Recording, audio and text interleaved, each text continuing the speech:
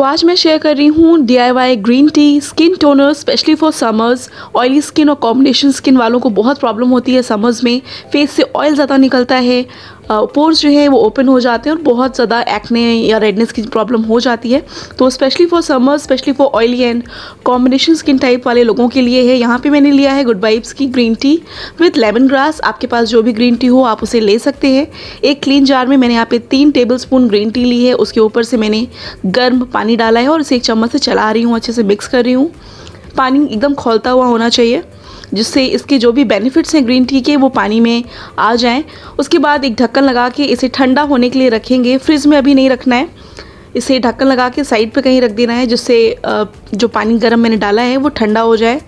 और अभी देखिए ग्रीन टी की जो लीव्स हैं ना, वो ऊपर सरफेस पर फ्लोट कर रही है।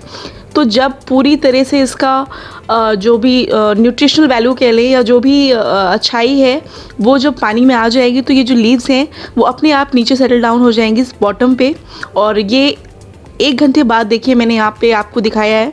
एक घंटे बाद पानी ठंडा हो चुका है और सारी जो लीव्स ऊपर सरफेस पे थी, वो नीचे सेटल डाउन हो चुकी है। इस पानी को मैं एक क्लीन स्प्रे बॉटल में ट्रांसफ़र करूँगी। आप किसी भी जार वगैरह में से स्टोर कर सकते हैं बट टोनर है तो स्प्रे से लगाने में ही ज़्यादा आसान रहता है और मज़ा भी उसी में आता है। तो मैं यहाँ पे एक क्लीन स्प्रे बॉटल ले रही हूँ और इसे छन्नी की हेल्प से पानी को छान ले रही हूँ। ग्रीन टी बहुत ही बेनिफिशियल होता है क्योंकि इसमें भरपूर मात्रा में एंटीऑक्सीडेंट्स होते हैं, जो आपके प्री मेच्योर एजिंग साइंस होते हैं, उन्हें रिड्यूस करता है पफी आइज़ को रिड्यूस करता है डार्क सर्कल्स को कम करता है, इसमें एंटी इन्फ्लेमेटरी प्रॉपर्टीज़ भी होती हैं। तो काफ़ी अच्छा होता है स्किन के लिए। अब यहाँ पे मैं five to six drops essential oil ले रही हूँ, इसको ऐड करूँगी। ये भी मैंने गुड वाइब्स का लिया है ऑरेंज एसेंशियल ऑयल क्योंकि लेमन ग्रास था इसमें पहले से तो मैं मतलब सिट्रस चीज़ ही ऐड करना चाह रही थी।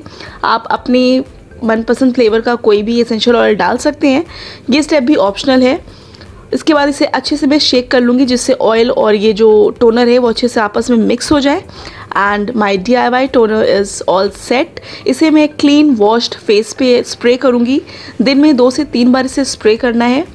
और जब आप इसे स्प्रे करेंगे ना तो आपको ठंडक सी महसूस होगी। और बिल्कुल जिसे टोनर लगाने के बाद स्किन टाइट सी हो जाती है बिल्कुल वैसा ही आ, कुछ आप फील कर पाएँगे। और इसे मैं अभी ड्राई करने की कोशिश कर रही हूँ पैट पैट करके। लेमन ग्रास भी हमारे स्किन के लिए बहुत अच्छा होता है।